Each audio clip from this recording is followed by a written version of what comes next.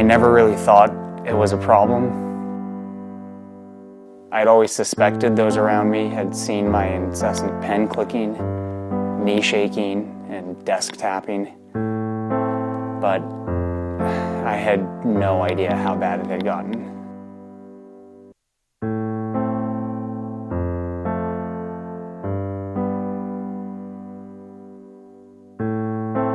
I just fidgeted all the time anything I could get my hands on. It didn't matter what.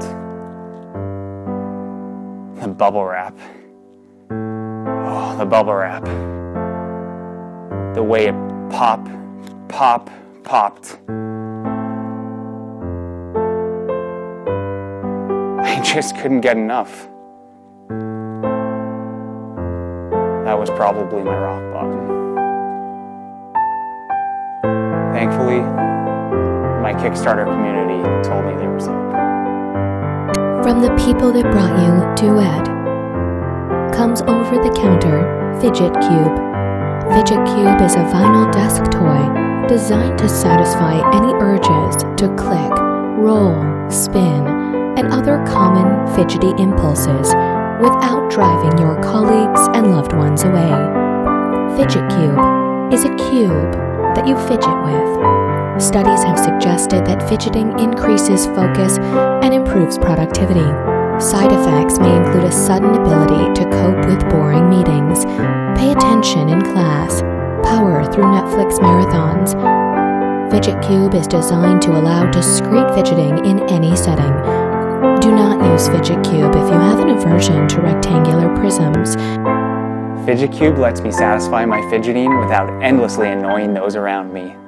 I thought I could stop at any time, and now I realize I don't want to. Fidget Cube can help. Take the first step to fidgeting freedom today.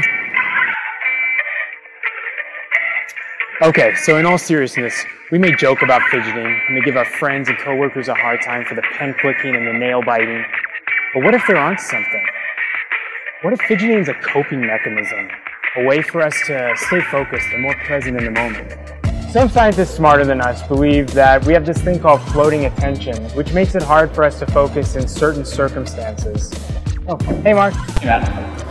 Yeah, and actually, fidgeting has been shown to be able to help keep that floating attention occupied, which helps you better focus on the task at hand.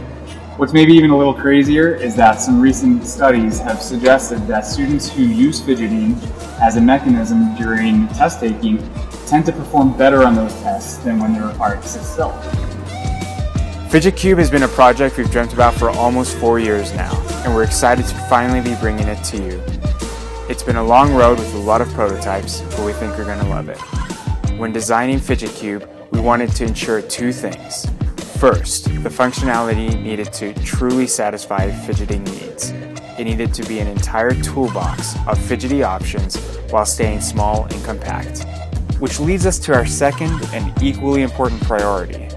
We wanted Fidget Cube to be a premium desk toy that could be discreetly used in any situation, from a classroom to a boardroom. The Fidget Cube, of course, has six sides.